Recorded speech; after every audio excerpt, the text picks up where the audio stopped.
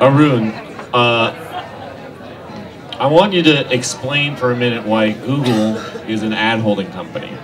And then we're going to take a uh, survey of the panel. Okay, so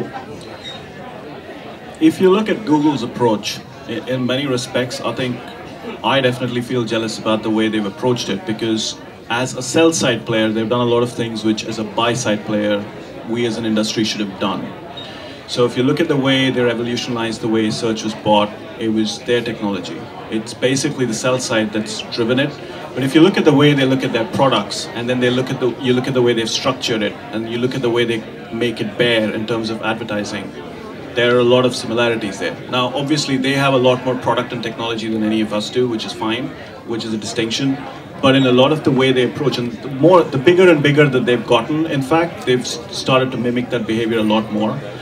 And I just feel like there's a lot to learn from them as well, because they have actually revolutionized the buy side, whereas they are largely a sell side player. Everything they do is to monetize advertising. Okay, so let's survey the panel, yes or no. Uh, Josh, is, is Google an ad holding company? Yes or no? Uh, two words? Two words. So I actually I think they're more complex than that. I think they have media platforms. I'm like sorry, 17 I, words. I'm going to channel the Havas guy from last year and go way over my time. I apologize. They have media products and they have skills products, and we tend to buy more of their skill-based products from them and use them to build our own capabilities. To us, they are definitely a technology vendor, not a media vendor. Okay. I Stefan. agree.